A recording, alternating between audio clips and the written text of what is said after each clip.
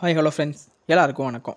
பொதுவாக நம்ம சேனலை பற்றி நம்மளே பெருமையாக பேசக்கூடாது நம்ம சேனலில் பதிவேற்றம் செய்யப்படுற எல்லா வீடியோவும் கிட்டத்தட்ட மினிமம் ஒரு எயிட் மினிட்ஸ் அல்ல நைன் மினிட்ஸ் இருக்கும். அந்த எட்டு நிமிஷத்தில் அந்த கம்பெனியோட ஏழு ஆரம்பித்து இஜெட் வரைக்கும் இருக்கிற எல்லா இன்ஃபர்மேஷனையும் ரொம்ப சுருக்கமாக ரொம்ப எளிமையாக உங்களுக்கு புரிகிற மாதிரி நான் எக்ஸ்பிளைன் பண்ணுவேன். அப்போது அந்த கம்பெனியோட நூக் அண்ட் கார்னர் உங்களுக்கு தெரியும். அவங்க என்ன பிஸ்னஸ் பண்ணுறாங்க அவங்களுக்கு எது மூலமாக லாபம் அதிகமாக வருது அவங்க ஃப்யூச்சரில் எந்த மாதிரிலாம் பர்ஃபார்மன்ஸ் பண்ண வாய்ப்புகள் இருக்குது அப்படிங்கிறது வரைக்கும் உங்களுக்கு எளிமையாக நான் புரிய வைக்கிறேன். பேசிக்காகவே நான் ஏன் வெறும் ஃபண்டமெண்டல் அனலைசிஸ் மட்டும் வச்சு ஒரு கம்பெனியை பை பண்ணுறது இல்லை ஏன் அதோட பிஸ்னஸையும் நான் அனலைஸ் பண்ணுறேன் அப்படிங்கிறத இந்த ஸ்டாக் அனலைசிஸ் மூலமாக உங்களுக்கு கிளியராக விளங்க போகுது. நம்ம எவ்வளோதான் எஃபோர்ட் போட்டு யூஸ்ஃபுல் இன்ஃபர்மேஷனை ரெடி பண்ணாலும் வியூஸ் நமக்கு ரொம்ப கம்மியாக தான் கிடைக்குது.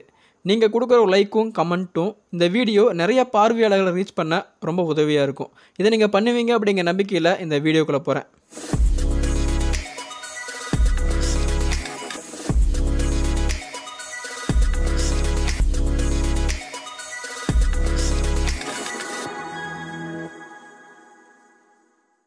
அந்த கம்பெனி நேம் ராஜேஷ் எக்ஸ்போர்ட்ஸ் இந்த கம்பெனியை எனக்கு ஒரு சப்ஸ்கிரைபர் ரெக்கமெண்ட் பண்ணார். ரீசெண்டாக ஒரு ஐம்பது சதவீதத்துக்கு மேலே கிராஷ் ஆகி கீழே விழுந்திருக்கு. இந்த ஷேரை நம்ம பை பண்ணலாமா அப்படின்னு.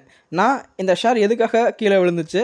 இதோட ஹிஸ்ட்ரி என்ன அப்படிங்கிறத லைட்டாக அனலைஸ் பண்ணேன். நம்மளோட பாலிசி என்னென்னா ஒரு கம்பெனியோட ஃபண்டமெண்டல் அனலைசிஸ்க்கு முன்னாடி அவங்களோட பிஸ்னஸ் அனலைசிஸை பண்ணுவேன். கரண்ட்டாக என்ன பிஸ்னஸ் பண்ணிட்டு இருக்காங்க? ஃப்யூச்சரில் அவங்க பிளான் என்ன? ஃப்யூச்சரில் இந்த பிளான் சக்ஸஸ் ஆகுமா அப்படிங்கிற அனலைஸ் பண்ணிவிட்டு பிறகு தான் நான் ஃபண்டமெண்டல் அனலைசிஸ்க்குள்ளே போவேன். அப்படி அவங்களோட பிஸ்னஸ் அனலைசிஸ் பண்ணும்போது எனக்கு ஒரு ஷாக்கிங் நியூஸ் கிடச்சிச்சு.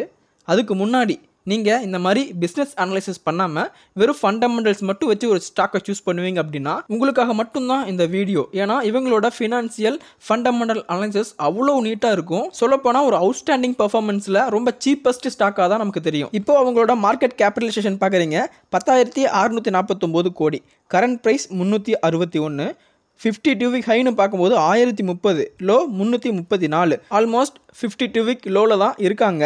ஸ்டாக் பின்னு பார்க்கும்போது வெறும் ஒன்பது புள்ளி முப்பத்தி ரெண்டு இண்டஸ்ட்ரி பி முப்பத்தி நாலு புள்ளி எட்டு. வாவ் என்ன ஒரு அட்ராக்டிவ் வேல்யூ அதே போல் புக் வேல்யூ ஐநூற்றி பதினாறு. கரண்ட் ப்ரைஸை விட புக் வேல்யூ அதிகமாக இருக்கே. அடேங்கப்பா டபுள் டமாக்கா வச்சு அப்படின்னு ஃபீல் பண்ணுவீங்க.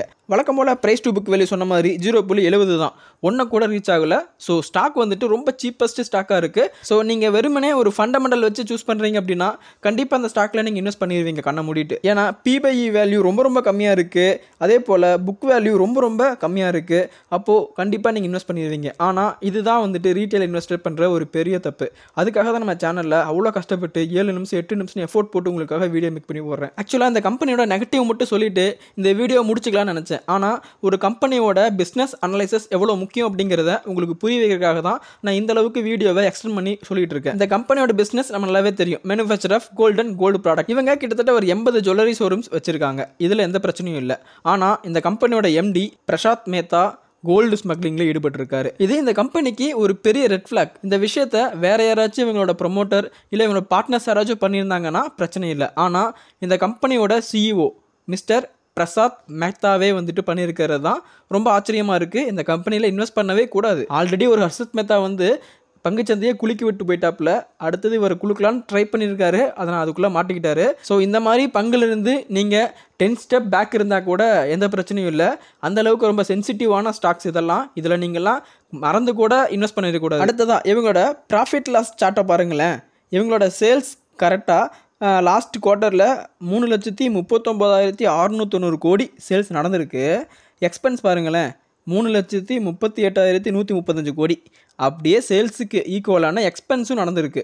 அப்போது இந்த கம்பெனியில் பிரச்சனை இருக்குது அப்படிங்கிறது இந்த இடத்துல உங்களுக்கு கிளியராக புரிஞ்சுருக்கணும். ஏன்னா இவங்களோட எக்ஸ்பென்ஸை கொஞ்சம் டெரிவ் பண்ணி பார்க்கும்போது மெட்டீரியல் காஸ்ட்லேயே கிட்டத்தட்ட நைன்டி நைன் பர்சன்டேஜ் ஆஃப் இவங்களோட சேல்ஸை இழக்கிறாங்க. அப்போது ஏதோ ஒரு பிரச்சனை கம்பெனிக்குள்ளே இருக்குது இது அப்பட்டமாக பச்சையாக தெரியுது ரெட் ஃப்ளாக் இருக்குது அப்படிங்கிறது. சம்திங் ஏதோ ஒரு இல்லீகல் ஆக்டிவிட்டி வந்துட்டு இந்த ஸ்டாக்குள்ளே நடந்துக்கிட்டு இருக்குது அந்த மாதிரி ரொம்ப சென்சிட்டிவ் ஸ்டாக்கில் நம்ம கிட்ட கூட போகக்கூடாது. இதில் இன்னும் ஆபத்தான விஷயம் என்ன அப்படின்னு பார்த்தீங்கன்னா இவங்களோட ஷேர் ஹோல்டிங் பேட்டர்ன் இதில் பாருங்கள் இன்னும் வந்துட்டு ப்ரொமோட்டர் ஹோல்டிங் எந்த ஒரு குறைவும் இல்லாமல் ஐம்பத்தி நாலு புள்ளி ஜீரோ வந்து பர்சன்டேஜாக வந்துட்டு மேடு பண்ணிகிட்டு இருக்காங்க. இது அவங்களுக்கு ரொம்ப கட்ஸ் இருக்குது ஃபிஃப்டி ஃபோர் பர்சன்டேஜும் வந்துட்டு மக்கள் தலையில் கட்டாமல் டீசெண்டாக மெயின்டைன் பண்ணுறாங்க இதில் எஃப்ஐஐ வந்துட்டு கிட்டத்தட்ட பதினஞ்சு பர்சன்ட் ஸ்டேக் வச்சுருக்காங்க. இது ரொம்ப ரொம்ப ஆச்சரியமாக இருக்குது அது எதுக்காக இவ்வளோ ஸ்டேக் வச்சுருக்காங்க அப்படிங்கிறது புரியல. அது தேவையில்லாத கதை. அதை பற்றி நம்ம பேச வேண்டாம். இதில் இப்போது டிஐயோட ஹோல்டிங் எடுத்து பார்த்தீங்கன்னா எல்ஐசி லைஃப் இன்சூரன்ஸ் வந்துட்டு கிட்டத்தட்ட டென் பர்சன்டேஜ் ஸ்டேக் வச்சுருக்காங்க. டே யாரா நீங்களாம் இந்த கம்பெனியில் எதுக்குறா இவ்வளோ பணத்தை இன்வெஸ்ட் பண்ணி வச்சுருக்கீங்க? ராஜேஷ் எக்ஸ்போர்ட்ஸ் இந்த கம்பெனி ஆல்மோஸ்ட் என்ன கேட்டால் செத்துருச்சு நோ மோர் இதுக்கு மேலே அந்த கம்பெனியில் இன்வெஸ்ட் பண்ணுறதுக்கு எதுவுமே கிடையாது. இந்த இடத்துல டென் பர்சன்டேஜ் ஆஃப் ஷேர் எல்ஐசியிலிருந்து இதில் இருக்குது அப்படின்னா எங்கேயோ இடிக்குதில்ல? கண்டிப்பாக எனக்கும் அதான் ஃபீல் ஆச்சு. இந்த பணம் வந்துட்டு எல்ஐசியோட பணம் கிடையாது. நம்ம மக்களோட பணம் தான். ஸோ இந்த ஷேர் ஹோல்டிங் பேட்டர்னில் எல்ஐசியோட ஸ்டேக்கை பார்த்த உடனே எனக்கே வந்துட்டு பக்குன்னு ஆயிடுச்சு. ஸோ நம்ம பணத்தை யார் நம்பியும் கொடுக்க முடியாது. நம்ம தான் ஓன் ரிஸ்க் எடுத்து அனலைஸ் பண்ணி ஃபண்டமெண்டல் அனலைசிஸ் பண்ணி பிஸ்னஸ் அனலைசிஸ் பண்ணி ஒரு கம்பெனியோட ஷேர் ஹோல்டிங் பேட்டர்னை வாட்ச் பண்ணி ப்ராப்பராக இன்வெஸ்ட் பண்ணால் தான் நம்ம மணி சேஃபாக இருக்கும். அதுக்கு இந்த ஷேரே வந்து எடுத்துக்காட்டு. எல்ஐசியே இதில் கண்மூடித்தனமாக ஒரு டென் பர்சன்ட் மிஸ்டேக் வாங்கி வச்சுருக்கான் அப்படின்னா இது என்ன சொல்கிறதுன்னு எனக்கு புரியல. அடுத்த கீழே பப்ளிக்கோட ஷேரு பாருங்களேன். கிட்டத்தட்ட இன்னும் கரண்ட்டாக கிட்டத்தட்ட நைன்டீன் பர்சன்டேஜ் இருக்குது கிராஜுவலாக இன்க்ரீஸ் ஆகிட்டு இருக்குது ஏன்னா மக்கள் தலையில் கொஞ்சம் கொஞ்சமாக கட்டிகிட்டு இருக்காங்க அப்படின்னு அர்த்தம். அதில் நம்பர் ஆஃப் ஷேர் ஹோல்டிங் பாருங்களேன். போன குவார்ட்டர்லேருந்து இந்த குவார்ட்டருக்கு கிட்டத்தட்ட ஒரு லட்சம் பேர் இன்க்ரீஸ் ஆகியிருக்காங்க இது பெரிய பெரிய ட்ராபேக் இந்த மாதிரி ஸ்டாக்கில் நீங்கள் இன்வெஸ்ட் பண்ணவே கூடாது. தயவு செஞ்சு விழிச்சுக்கோங்க. ஸோ இந்த நேரத்தில் நான் அந்த பிரதருக்கு தான் தேங்க்ஸ் சொல்லணும். அந்த நேம் கூட நோட் பண்ணி வைக்கல. நான் சும்மா நோட் பேடில் வந்துட்டு அந்த ஸ்டாக்கோட நேம் மட்டும் தான் நோட் பண்ணி வச்சேன். அந்த கமெண்ட்டை யார் பண்ணாங்க அப்படிங்கிறது தெரியல. ஒருவேளை அந்த கமெண்ட் பண்ண நண்பர் இந்த வீடியோ பார்த்தீங்க அப்படின்னா மறக்காமல் கமெண்ட்டில் உங்கள் பேரை போடுங்க. நான் உங்களுக்கு கண்டிப்பாக ஒரு விஷயம் சொல்லியே ஆகணும். ஏன்னா இவ்வளோ பெரிய ஒரு அவேர்னஸ் வீடியோ கிரியேட் பண்ணுறதுக்கு உங்களோட கமெண்ட் தான் ஒரு முக்கியமான காரணமாக இருந்திருக்கு எனக்கு. ஸோ ஒரு ஸ்டாக் எப்படிலாம் இருக்கக்கூடாது அப்படிங்கிறதுக்கு மொத்த எடுத்துக்காட்டாக இந்த ஸ்டாக்கை நான் வைப்பேன். ராஜேஷ் எக்ஸ்போர்ட்ஸ் மறந்து கூட இந்த ஸ்டாக் பக்கம் போயிடாதீங்க. இதுக்கு மேலேயும் இவங்க மேலே எந்த தப்பு இல்லை அப்படின்னு சொல்லி வந்தாலும் இந்த ஸ்டாக்கில் என்னை கேட்டால் நீங்கள் இன்வெஸ்ட் பண்ணக்கூடாது. ஏன்னா இந்த ஒரு தடவை ஒரு ஸ்டாக்கில் ஒரு கெட்ட பேர் வந்துருச்சுன்னா அந்த கெட்ட பேரை மாற்றுறது அப்படிங்கிறது ரொம்ப ரொம்ப கஷ்டம். இதுக்கு எடுத்துக்காட்டாக எஸ் பேங்க் வோடாஃபோன் இன்னும் ஏகப்பட்ட ஷேர்ஸ் வந்துட்டு இப்போது லாஸ்ட்டாக திவாலான ஸ்டாக்னு சொல்லலாம். இன்னும் வந்துட்டு அதில் ஸ்டாக் இன்வெஸ்ட் பண்ணிட்டு தான் இருக்காங்க. அவங்கள பற்றி அவங்க என்ன நினச்சி இன்வெஸ்ட் பண்ணுறாங்க அப்படிங்கிறது தெரியல. எனக்கு பர்சனலாக ஒரு ஸ்டாக்கில் ஒரு நெகட்டிவ் நியூஸ் பரவிருச்சு. அந்த ஸ்டாக் வந்துட்டு ஒரு பாட்டம் லைன் டச் பண்ணிருச்சு அப்படின்னா மீண்டும் அதோட பழைய பொட்டன்ஷியலில் மூவ் ஆகிறது ரொம்ப ரொம்ப கஷ்டம். அதனால் அந்த மாதிரி ரிஸ்க் எடுத்து நம்ம இன்வெஸ்ட்மெண்ட் பண்ணக்கூடாது. ஏன்னா அதை விட ஏழை இன்வெஸ்ட்மெண்ட்டில் நல்ல நல்ல இன்வெஸ்ட்மெண்ட் ஸ்டாக்கில் இருக்குது அதில் நம்ம இன்வெஸ்ட் பண்ணி நம்ம மணியை சேஃப் அண்ட் செக்யூராக நம்ம வளர்த்துக்கலாம். அதில் ஒன்றும் மாற்று கருத்தே கிடையாது. கண்டிப்பாக இந்த வீடியோ மூலமாக உங்களுக்கு பெரிய ஒரு அவேர்னஸ் கிடச்சிருக்குன்னு நம்புகிறேன் ஸோ இந்த வீடியோ மூலமாக நான் சொல்ல வர கருத்து ஒன்றே ஒன்று மட்டும்தான். நீங்கள் ஒரு ஸ்டாக்கில் இன்வெஸ்ட் பண்ண போகிறீங்க அப்படின்னா அந்த ஸ்டாக்கை பற்றி நீங்கள் ஏ டு ஜெட் தெரிஞ்சுக்கணும்.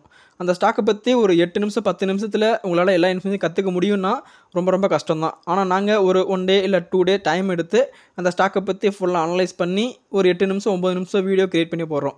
நீங்கள் அந்த வீடியோ பார்த்தீங்கனாலே மேக்ஸிமம் அந்த கம்பெனியோட ஏ டு ஜெட் எல்லா இன்ஃபர்மேஷனையும் வந்துட்டு ரொம்ப ஷார்ட் அண்ட் ஸ்வீட்டாக தெரிஞ்சுக்க முடியும்.